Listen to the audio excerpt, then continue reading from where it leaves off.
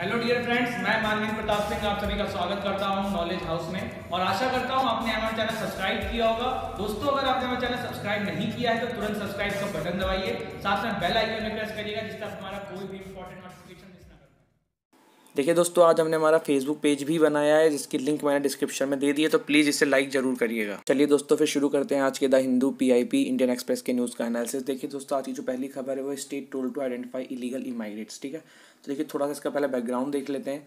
पहले हुआ क्या था? देखिए, जो म्यांमार है, हमारी इंडिया के बगल में है तो म्यांमार में मुस्लिम्स के लिए काफ़ी वायलेंस स्टार्ट हो गया था। तो वहाँ से कुछ रोहिंग्या मतलब एक पर्टिकुलर कॉम है मुस्लिम्स की तो वो लोग वहाँ से भाग के इंडिया में आके बस गए।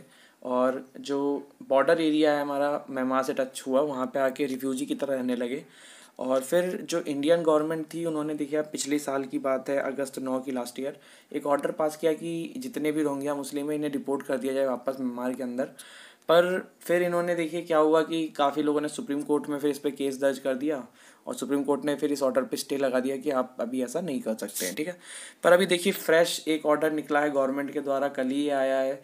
इसमें देखिए गवर्नमेंट ने जितने भी स्टेट हैं तो फिर चलिए देखते हैं कल के ऑर्डर में क्या लिखा है इन्होंने। देखिए तो होम मिनिस्ट्री है आज the state government to capture the biographic and biometric particulars of illegal immigrants and restrict them to specific location ठीक है? तो देखिए, इन्होंने कहा है कि जितने भी इलीगल माइग्रेट्स हैं जो भारत में आके बसे हुए हैं, और इन्होंने देखिए सबसे बड़ी चीज़ करी है इसमें कि इसने इन्होंने कहीं पे इस बार रोहिंग्या का नाम नहीं लिखा है किसी पर्टिकुलर उसका नाम नहीं लिखा, लेकिन इनडायरेक्टली मतलब वहीं से इनका, ठीक है? तो इन्होंने लिखा है कि देखिए, जो मतलब जितने भी इलीगल इमाइग्रेट्स हैं इंडिया के अंदर, उनका बायोग्राफिक और बायोमेट्रिक पर्टिकुलर्स उनके बारे में सारी डिटेल आप रखिए अपने पास और उन्हें एक पर्टिकुलर लोकेशन से बाहर ना आने दीजिए, जिससे कल को उन्हें रिपोर्ट करने में दिक्कत ना आए, ठीक है? तो देखिए दोस्तों काफ़ी लोग ये सोच रहे होंगे कि यार इंडिया को रखने में क्या दिक्कत है? जब कुछ मतलब किसी ह्यूमन राइट्स के बारे में और कुछ लोग ऐसा सोच रहे होंगे कि मतलब उनको वहाँ पर भी नहीं रख रहे हैं, यहाँ भी नहीं रख रहे हैं तो इंडिया का ऐसा क्यों डिसीज़न हो रहा है कि हमें क्यों नहीं रखना है? तो देखिए बेसिकली सी बात इतनी होती है कि देखिए, अभी अपनी आप देखिए इंडिया मतलब मैं ये नहीं कह रहा हूँ कि इनको इंडिया में नहीं रखना चाहिए बट मैं आपको एक रीज़न दे रहा हूँ कि देखिए जो इंडिया में अभी हमारी जनता खुद भूखी है, खुद बेरोज़गार है, ठीक है? हमारी गवर्नमेंट अभी नई नई नौकरी दे पा रही है, नई नई खाना खिलवा पा रही है, और चालीस पचास हज़ार लोग और आ जा रहे हैं आपके बाहर से, फिर आप उनका भी खर्चा उठाओ, जो कि आपकी कंट्री के पार्ट थे ही नहीं, ठीक है? तो ये गवर्नमेंट का अपना पॉइंट ऑफ़ व्यू है, जो गलत भी नहीं कहा जा सकता। इसके अलावा देखिए, अब तक 2012 से लेके, अब तक अराउंड चालीस हज़ार आ चुके हैं रोहिंग्या मुस्लिम इंडिया के अंदर। और ये देखिए तो ऑफिशियल डाटा है। काफ़ी लोग छुप छुप के आके इधर उधर बसे होंगे। और देखिए, बांग्लादेशी तो हमारे इंडिया में ऑलरेडी जाने कितने माइग्रेट कर चुके हैं। तो ये देखिए, फिर अब देखते हैं इसमें क्या होता है। इसके बाद देखिए, जो Nepal PM to arrive on six April जो नेपाल के हमारे पीएम हैं के पी शर्मा ओली तो इनकी देखिए, जो विज़िट होगी वो छः से आठ अप्रैल होगी इंडिया में। और इसका पीछे इनका मेन मकसद होगा कि जो बायोलेटरल टाइज है, उसको थोड़ा इंक्रीज़ किया जाए इंडिया और नेपाल के बीच में। देखिए दोस्तों मेन बात ये है कि जब पिछला इनका टेंचर था 2015 से 16 के अराउंड जब इनकी ये थे, तब नेपाल में आप देखिए यहाँ पे इकोनॉमिक ब्लॉकलेट हो गया था, काफ़ी इकोनॉमिकली वीक हो गया था नेपाल। और अब उसी को ही उठाने की कोशिश कर रहे हैं, इसीलिए इंडिया आ रहे हैं बायोलेटरल टाइज बढ़ाना चाह रहे हैं, ठीक है? जब से ये पीएम बने, उसके बाद इनकी पहली मीटिंग है इंडिया में। और इकोनॉमिक ग्रोथ करना चाह रहे हैं अपनी। और मेन चीज़ है कि देखिए, जब ये पिछली बार थे तो क्रिपलिंग इकोनॉमी हो गई थी, नेपाल की इकोनॉमिक ब्लैकलेट हो गया था 2015 से 16 के बीच में जब ये थे, ठीक है? तो अब उसी चीज़ को इनको ऊपर उठाने की है कि यहाँ चलो इकोनॉमिकली इंडिया थोड़ा देखिए स्ट्रॉन्ग है, इनकी हेल्प भी कर सकता है। तो आए हैं इंडिया में आएँगे बायोलेटल टाइज हैं, दोनों लोग आपस में बातें करेंगे, नरेंद्र मोदी जी और ये। और लेट्स सी इसमें क्या मतलब क्या क्या इनका आपस में पैक्ट्स होते हैं। फिर देखिए एक और आज की बड़ी खबर है डोनाल्ड ट्रंप ने फिर एक बड़ा निर्णय लिया, चौंकाने वाला निर्णय लिया और आश्चर्यजनक निर्णय लिया। अभी देखिए जो यूएस का वीज़ा आप अप्लाई करोगे, आपको अपने सोशल मीडिया का पूरी जानकारी देनी पड़ेगी, ठीक है? सोशल मीडिया की जानकारी से मतलब है जैसे आपका मोबाइल नंबर है तो आपसे ये पूछेंगे कि आपने पाँच साल से पहले तक कितने मोबाइल नंबर यूज़ किए कौन कौन से मोबाइल यूज़ किए हैं? आपने कौन कौन सी ईमेल आईडी यूज़ करी हैं, ठीक है? अगर आपने अभी झूठ भी बोल दिया, कल को क्रॉस वेरीफाई होगा तो फिर आपको दिक्कत हो जाएगी। फिर इन्होंने देखिए सारी बातें यहाँ पे, देखिए the Trump administration wants to use U S visa applicants to submit detail of their previous phone numbers email address social media histories as part of its vetting practice and to prevent entry of individuals who might pose a threat to country ठीक है? अब बताइए social media history मांग रहे हैं। तो अब देखिए यूएस तो अपनी करता ही है, अपनी मर्ज़ी चलाता है तो क्या गलत सही? लेकिन हाँ ऑफकोर्स गलत है, आप किसी के पर्सनल चीज़ें मांग रहे हो, लेकिन हाँ मोबाइल नंबर और email ID I think still better पर अगर अभी कल कोई कहें कि आप पूरा फेसबुक के डिटेल दिखाओ, सब करो तो गलत बात है। ईमेल आईडी की आपकी डिटेल मांगने लग जाए तो गलत बात है। ठीक है तो ये इनका एक फैसला है कल का। इसके बाद देखिए Russia summons western envoys as a crisis deepens तो देखिए अभी जो चल ही रहा है, आपको हम रोज़ आज की न्यूज़ में देख रहे हैं, कभी दूसरे देश इनके डिप्लोमेट्स को वापस कर रहे हैं, कभी ये दूसरे देश के डिप्लोमेट्स को वापस कर रहे हैं। और ये सब देखिए करा धारा उस हरकत का है जो रशिया ने यूके की सॉइल में किया था, जो अपने एक स्पाई को इन्होंने पॉइजन दे मरवा दिया था, जो कि एक्सेप्ट नहीं कर रहे हैं और इसी के ख़िलाफ़ में पूरा वर्ल्ड इनके खिलाफ़ उतरा हुआ है डिप्लोमेट्स को इनके सस्पेंड कर रहा है, इनके कंट्री में वापस भेज रहा है। एक मैसेज शो करना चाह रहा है इन्हें कि हाँ आपने गलत किया है। पर रशिया देखिए, मानने वालों में से तो है नहीं, किसी से कम है नहीं, इनके पास भी सारे न्यूक्लियर वेपन्स हैं, सब कुछ है। तब ये भी देखिए, अपने चौड़ में है और सबको वापस करने में ये भी लगे हुए हैं तो जैसा लोग कर रहे हैं वही भी उनके साथ कर रहे हैं। और देखिए, जितना इसमें यूके एक्टिव नहीं हो रहा है ना, उतना यूएस एक्टिव हो चुका है। और मेन चीज़ देखिए रशिया यूएस की तो कोई बनी है नहीं।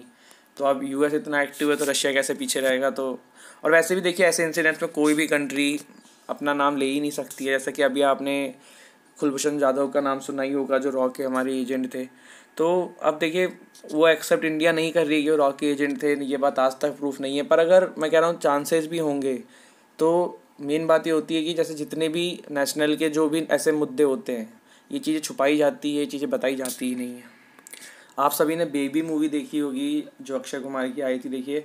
तो उसमें आपने ये चीज़ देखी थी, जब वो लोग जा रहे थे उनको पकड़ने के लिए तो उनसे कहा गया था कि अगर आप पकड़ा गए तो आप इंडियंस नहीं हो, आपके बात बोलनी पड़ेगी।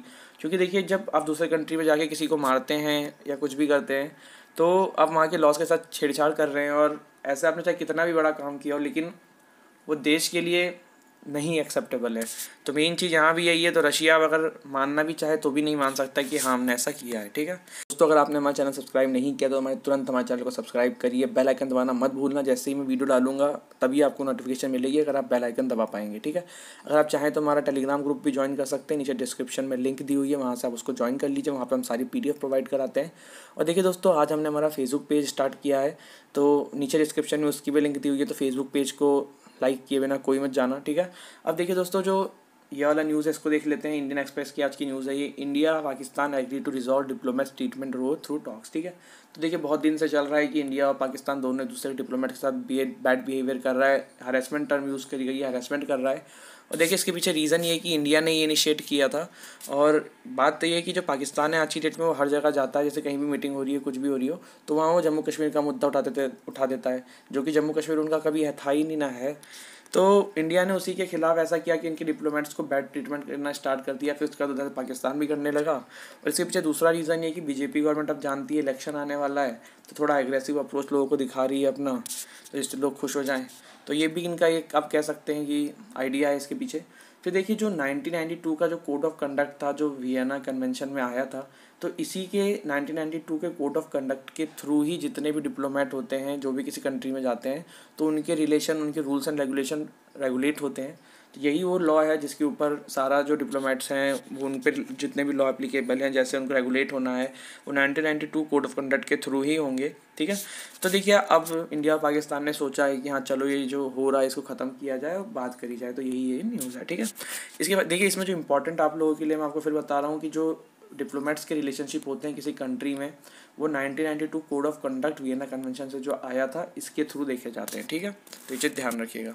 अब देखिए दोस्तों, Kaziranga finds a dozen reason to be happy जो हमारा काजीरंगा, जो हमारा नेशनल पार्क है, ठीक है?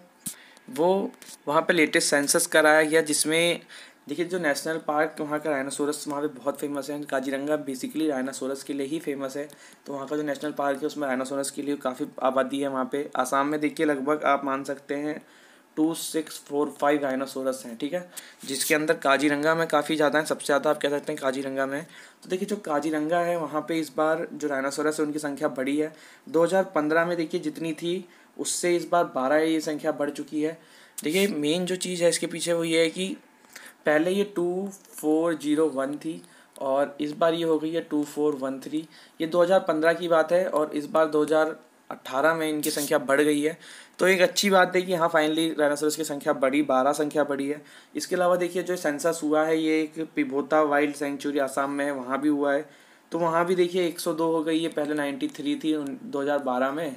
अब वहाँ पे हो गई है एक सौ दो। ठीक है तो यहाँ भी देखिए संख्या बढ़ी है और एक मानस नेशनल पार्क है जिसमें अभी अगले महीने होना है। तो मेन जो चीज़ है यहाँ पे देखिए दोस्तों, ये है कि जो डायनासोरस है, इसकी संख्या आसाम में बढ़ रही है। और कितनी कितनी बढ़ रही है मैंने आपको बता दिया, अगर इसमें आपसे डेटा पूछें क्वेश्चंस में एग्ज़ाम्स में तो आप इसको याद कर लीजिएगा। वैसे पूछेंगे नहीं, यहाँ तक मुझे लग रहा है, लेकिन स्टिल अगर पूछा तो। देखिए, आज की न्यूज़पेपर में कोई इतनी खास न्यूज़ आई नहीं थी। बहुत ही कम अच्छी न्यूज़ आई थी, जो आपके यूपीएससी के हिसाब से इंपॉर्टेंट हो। और देखिए, जो मेन आपको एक चीज़ और याद रखनी है कि एस्टिमेट जो आसाम में, आज की डेट में जो राइनासोरस है, वो दो हज़ार छः सौ पैंतालीस है, ठीक है? तो ये चीज़ ध्यान रखिएगा, दो हज़ार छः सौ पैंतालीस। इसके बाद देखिए दोस्तों, रोज़ की तरह फिर देखेंगे द नॉलेज हाउस स्टॉक और आज फिर हम जानेंगे कुछ ऐसा तथ्य जो हमें नहीं पता होगा। तो देखिए, आज दोस्तों हम देखने वाले हैं डॉक्टर राजेंद्र प्रसाद के बारे में, ठीक है? देखिए, जो हमारे प्रेसिडेंट ऑफ़ इंडिया रह चुके हैं ये तो इनके बारे में थोड़ा जान लेते हैं। देखिए when doctor Rajendra Prasad was appointed the president of India he only to fifty percent of his salary claiming he did not require more than that. Towards the end of his 12 year tenure, he only took 25% of his salary. The salary of the president was 10000 back then, ठीक है? तो देखिए, बहुत ही अच्छा fact इनके बारे में पता पड़ा है। इनका व्यक्तित्व तो दिखता है कि कितने अच्छे स्वभाव के, कितने अच्छे व्यक्तित्व के इंसान थे। देखिए, इन्होंने क्या किया था? जब प्रेसिडेंट बने थे तो इन्होंने डिसाइड कर लिया था कि मैं अपने फिफ्टी परसेंट सैलरी ही लूँगा और फिफ्टी परसेंट से ज़्यादा सैलरी नहीं लूँगा। और जब इनका करियर एंड हुआ मतलब बारह साल का जो इनका टेंचर था, वो ख़त्म हुआ तब जो इनकी टोटल सैलरी थी, उसका सिर्फ़ पच्चीस परसेंट सैलरी ही उस टाइम तक इन्होंने ली थी। समझ रहे हैं आप मेरी बात? बारह साल में जितनी भी इनकी सैलरी होनी चाहिए थी, उसका सिर्फ़ पच्चीस परसेंट ही इन्होंने लिया था। और देखिए, जो उस टाइम में प्रेसिडेंट की सैलरी होती, दस हज़ार होती थी तो देखिए राजेंद्र प्रसाद का व्यक्तित्व के बारे में हम सभी जानते हैं, कितने डाउन टू अर्थ इंसान थे। तो वही यहाँ पे है, और होप आप लोगों को आज की वीडियो अच्छी लगी हो। दोस्तों, अगर आपको मेरी वीडियो अच्छी लगी हो तो लाइक करना मत भूलिएगा कमेंट ज़रूर करिएगा शेयर करिएगा वीडियो को और हमारे फेसबुक पेज को बिना लाइक किए कोई नहीं जाएगा। नीचे डिस्क्रिप्शन में लिंक दी हुई है वहाँ से हमारे फेसबुक पेज को ज्वाइन लाइक कर सकते हैं। हमारा टेलीग्राम ग्रुप को अगर ज्वाइन करना है तो नीचे डिस्क्रिप्शन में लिंक है हमारे टेलीग्राम ग्रुप को ज्वाइन कर सकते हैं। चैनल को सब्सक्राइब करना मत भूलिएगा बेल आइकन ज़रूर प्रेस करिएगा। मिलते हैं फिर मेरी अगली वीडियो में, तब तक जय हिंद, जय भारत।